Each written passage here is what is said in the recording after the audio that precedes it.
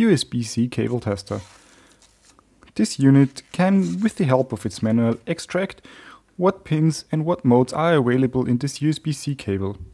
This cable, for example, has ground, VBus, D-, D+, CC2 and the shield connected.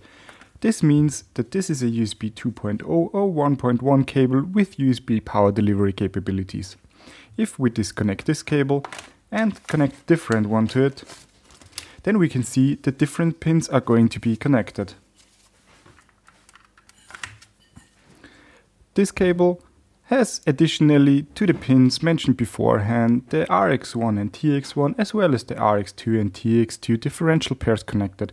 This means that this cable is a USB 3.2 cable with all the functions available as well as backwards compatibility to 3.1, 3.0, 2.0 and 1.1.